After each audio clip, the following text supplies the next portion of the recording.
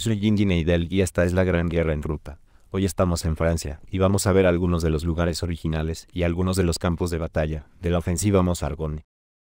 Y conmigo está Jean-Paul de Bries, que nos explicará lo que vayamos viendo, así que es genial tenerte aquí con nosotros. Muchas gracias. Nos encanta tu museo, probablemente vieron el episodio que grabamos, así que es genial tenerte de vuelta para que nos enseñes los alrededores. Ahora justo detrás nuestro, empecemos. ¿Qué estamos viendo?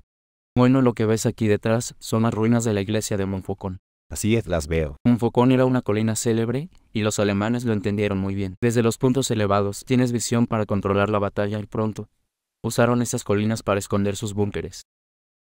Parece que está en ruinas completamente. Es una iglesia totalmente destruida, pero si te fijas, podrás ver en el centro una torre cuadrada. Ya la veo. No es la torre original y verás que usaron todo tipo de piedras para reconstruirla. Y entiendo. Y en la parte superior verás una apertura para ametralladoras. Claramente. O prismáticos era el punto de observación alemán más cercano al frente, para poder ver lo que sucedía. Así que los franceses no lo bombardearon, porque ya lo habían hecho y lo dejaron estar.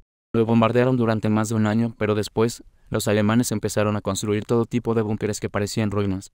Este es uno de ellos, pero hay 27 alrededor. Parecen ruinas, pero no son realmente ruinas. Tenían ametralladoras. Ametralladoras y paredes de un metro de grosor, así que los soldados estaban bastante seguros. Eso es interesante porque estuvimos hablando sobre el dominio de las posiciones elevadas y dijiste que incluso en tiempo de los romanos las controlaban. Una torre importante ofrecía visibilidad y el envío de mensajes. Los romanos lo sabían y los alemanes también. Del todo. Aquí también hay más historias. Antes mencionaste a los vikingos. En el 888, unos 19.000 vikingos remontaron el río Mosa. Venían de Escandinavia, en el Mar del Norte y fueron por el río hasta un pueblo, a 12 kilómetros de aquí, intentaron tomar esta colina, pero murieron todos en el intento. Unos 19.000 vikingos murieron. Ellos no mataron a nadie, fueron asesinados bien. ¿Quién los mató? Los franceses creo que se organizaron para acabar con ellos. Probablemente serían unos 19.000 más uno. Creo que eran más del doble. Ya me imagino. Como mínimo. Es curioso que en los alrededores hay muchos árboles y vegetación. Entiendo que es posterior a la guerra. ¿Por qué no se tala todo esto para tener mejor vista? Los árboles pequeños, los más delgados, son posteriores al conflicto, pero si miras los más grandes verás que tienen formas muy extrañas. Tienes razón. Y todas esas ramas fueron alcanzadas en el transcurso de la Primera Guerra Mundial, por lo que están llenas de metralla y proyectiles. Entiendo. De los talas, la motosierra podría romperse, y es un riesgo enorme, por lo que la gente los deja. Así que nunca los van a tocar. Nunca es demasiado arriesgado, incluso si miras a aquellos de allí. Es lo mismo, esos fueron talados y rebrotaron de forma natural, aunque al menos sabes con seguridad que el tronco no alberga metralla. Entiendo, está claro, y dijiste que esto era. Deberíamos ir hacia, que esto era lo más lejos donde llegó el príncipe heredero Ruprecht. No Ruprecht, Ruprecht era bávaro. Entonces, ¿quién? El príncipe heredero del Kaiser Guillermo, su propio hijo. Lo pensé porque sabía que estaba en Verdot. Ruprecht estaba en Nobri de Complex, que es un bosque de Argón. Entiendo. Ese era Ruprecht y este era el príncipe heredero, quien tenía su centro de mando en mi pueblo romano. Vaya, bueno. En cada pueblo tomó la casa mayor, la mejor. Tiene sentido. Es lógico y este es el interior de la vieja iglesia. No olvides que este pueblo, Montfaucon, Entiendo, dime. ha sido destruido completamente, creo que en ocho ocasiones en los últimos 20 siglos. Es impresionante. Cada una de las veces quedó arrasado. La última vez fue del 14 al 18. Por lo que decidieron construir un nuevo pueblo abajo y no reconstruir este más, porque en cada guerra. Siempre lo han destruido, así que si miras alrededor, se ven piedras distintas, encima de las que obviamente son las originales. Ves las vigas de acero que sobresalen, duplicadas y en ambas direcciones. Y ahí tienes la entrada, creo que solía haber escalones.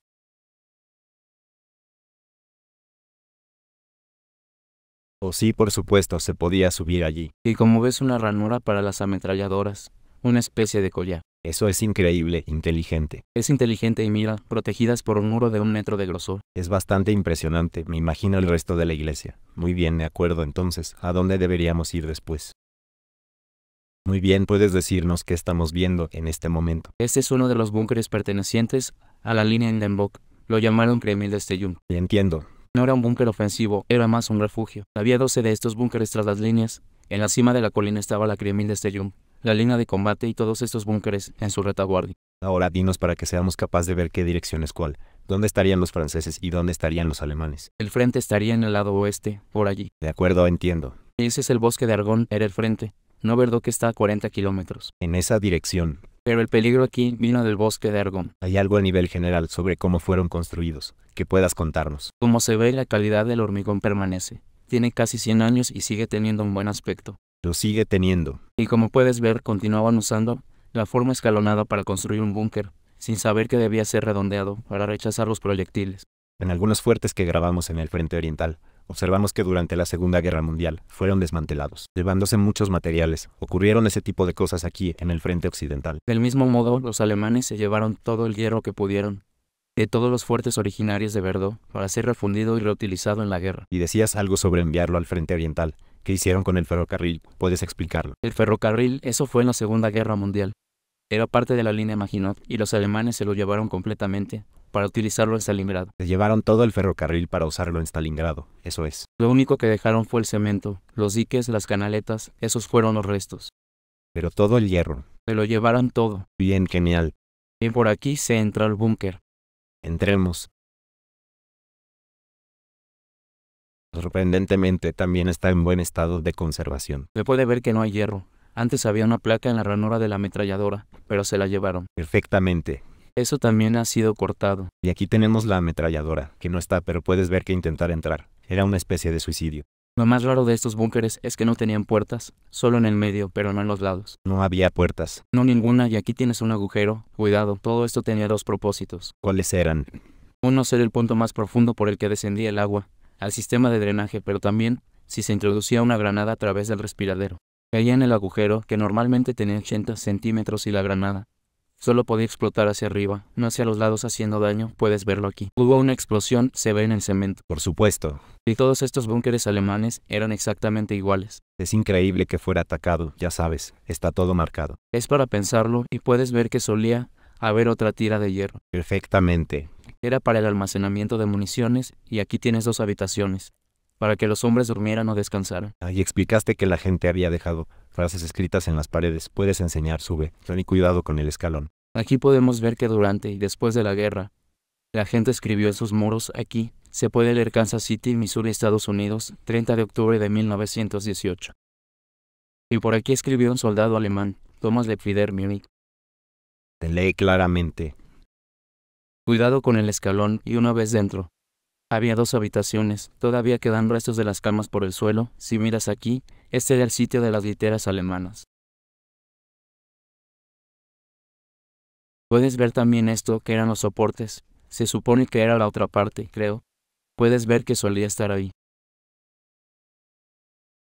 Y normalmente deberían haberse tendido en literas de alambre y estos serían los colchones. Ya veo a qué te refieres, cuántas personas estarían aquí, cuánta gente estaría destinada a vivir aquí. Lo que leí era que normalmente, unas 12 personas descansaban en estos búnkeres de refugio y otras 12 estaban en turno de vigilancia afuera. Bien, entonces 6 aquí y 6 en ese lado. O creo que 5, 5 y 2 de guardia. Claro, por supuesto. Porque siempre había guardias fuera, pero si miras aquí, estaban las literas y estos ganchos en el techo. Oh, sí, claro. Creo que por la noche la mesa subía y ponían una cama más aquí. Vaya, increíble. Puedes ver la humedad en las paredes. Y hemos tenido bastante suerte al grabar esta semana, que estamos a unos pocos grados sobre cero, pero la semana pasada que dijiste menos 12. Menos 11, menos 12. Así que podríamos haber tenido eso. Imagínense, me refiero a que hace frío aquí para nuestros fans, que están en climas cálidos. Recuerden que muchas de estas batallas ocurrieron con nieve, hielo, granizo. Me refiero a febrero, a menos 15 o menos 20 grados. Eso era demasiado. No me hubiera gustado vivir aquí durante un año. No olvides que muchos soldados no murieron por las heridas, o las balas o la metralla, murieron por problemas pulmonares, o de pies de trinchera y otras cosas, las infecciones no tienen nada que ver con la guerra. Como hemos dicho respecto a las cifras de infecciones, y lo diré de nuevo, porque es un buen dato, la medicina progresó, en los cuatro años de la Primera Guerra Mundial, entre 1914 y 1918, más que cualquier periodo de cuatro años en la historia anterior o posterior. Es como lo que dice la gente, que la necesidad es la madre de la invención, la guerra, en realidad, es la madre de la invención. La guerra es el mejor momento para inventar. Ahí es cuando lo sabes, ¿verdad? Muy bien. Entonces seguimos adelante. Me vale, genial. Ahora detrás de nosotros puedes ver que la colina desciende muchísimo. Tenías que subir para tomar esta posición. Eso era terrible, la única razón por la que los americanos pudieron tomarla. Fue por tener hombres suficientes, los alemanes eran quizás unos 500 o 600 y defendieron la colina durante tres días. Durante tres días. La 32 División estadounidense tardó tres días en tomar la colina. Es un suicidio, míralo. Es un suicidio y sobre todo porque los oficiales ordenaron a sus hombres que se pusieran en fila al atacar la colina. No estaban adoptando las nuevas tácticas que británicos y franceses habían aprendido de su experiencia. Muchos de los oficiales lucharon en la Guerra de México y tenían prácticas muy anticuadas de combate. Les ordenaron atacar en fila, con 30 kilos en la mochila y con la máscara de gas puesta. A través de la alambrada de púas y puedes verlo empinado de la colina, es casi imposible. Especialmente llevando 30 kilos de equipo. Es el tiempo que tuvieron y los hombres que tuvieron, se lo tomaron en serio. Con tiempo y hombres. Tardaron tres días y fue el punto de inflexión de la guerra. Cuando cayó esta colina de Mari, cayó la línea de Criamide. Entiendo. Ambos bandos supieron que se acabaría. Está claro si eres capaz de tomar esta loma. Puedes tomar cualquier cosa. Puedes tomar lo que sea, pero no sabes las bajas. La razón principal, por la que el cementerio está en Romagni, es porque perdieron a la mayoría de los hombres allí. Entiendo. ¿Por qué no dejarlos donde los hallaron? Los enterraron aquí, claro. Esta loma es muy famosa porque en 1914 fue tomada por Erwin Rommel. En esa época era subteniente. Hicimos un especial sobre Erwin Rommel en la Primera Guerra. En 1918 fue tomada de nuevo por Truman y MacArthur. Uno se convirtió más tarde en el gran general y el otro en presidente. Vaya, eso es bastante impresionante. Y ahora estamos aquí nosotros. Aquí estamos ahora, somos nosotros quienes la estamos tomando.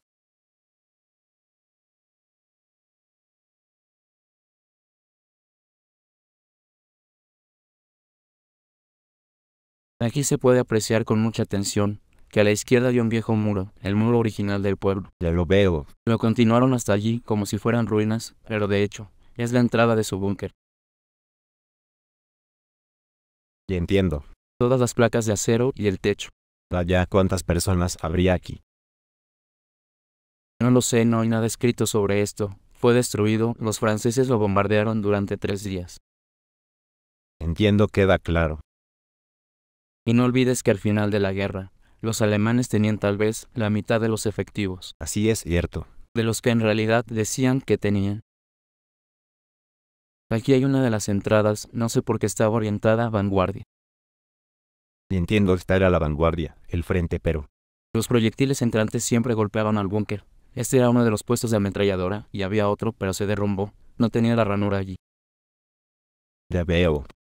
Para tener una posición para las ametralladoras, y como puedes ver también, hay una pequeña diagonal para lo mismo. Y todas estas piedras maltrechas son las viejas piedras del pueblo. Entiendo, las apilaron, ¿verdad? Y si miras el hormigón, puedes ver aquí lo fácil que puedes sacarlo cada noche. Tenían unas olas para hacer cemento y hormigón, para construir rápidamente, pero no era de buena calidad. Está claro, lo entiendo y esta es la entrada principal.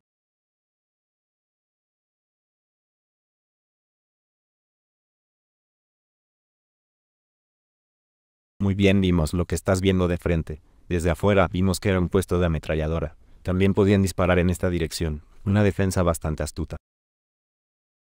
No me gustaría enfrentarme a esto, ya sabes, toparse con esto. Lo que quiero decir es que hace un día horrible, para imaginarme sentado con este clima, esperando hora tras hora con tus armas. Y no olvides que los alemanes con los que te medías eran tipos que habían luchado durante cuatro años, muy experimentados, tropas de élite bávaros de muchos sitios, que habían luchado durante cuatro años y los americanos venían con dos o cuatro semanas de entrenamiento solo. Y partieron directamente. Así es como fue. Murieron a montones. Murieron a montones uno tras otro. Es increíble, la guerra es un infierno. Bien, un Focón estuvo aquí, pero fue trasladado, aunque permaneció por un par de milenios, ¿verdad? Y cuando llegó 1914, ¿qué pasó con el pueblo que sucedió? Bueno, por décima vez, todo el pueblo fue destruido nuevamente. Por eso la gente se planteó, ¿por qué seguir quedándose en la colina? Mejor empezar a construir abajo, porque lo más importante en las guerras son los puntos elevados y siempre serán destruidos. Por tanto, nunca, nunca fue destruido, porque fueran malas personas o causaron una plaga. No fue así. No tiene nada que ver con la gente, era solo el lugar donde vivían. Diez veces porque es una colina. Porque es una colina. Es la colina, eso es lo que pasa con las colinas. Está bien que lo hayan trasladado finalmente. Es curioso, pero les llevó dos mil años entenderlo. Nuevamente, esto fue una mirada algunas de las tácticas y elementos defensivos de la ofensiva de Mozargón. Explicaremos en detalle en nuestros episodios normales cuando lleguemos, así que no es necesario que nos lo pidan. De nuevo, muchas gracias a Jean-Paul de Bries por acompañarnos y mostrarnos todo esto. Y si vienen por aquí, visiten la Romagne y vengan al Museo de Romagne 1418, que no solo es un museo fascinante, sino que podrán explorar la zona, porque eso es lo que él hace. Muchas gracias. Gracias. Hasta pronto. Hasta otra.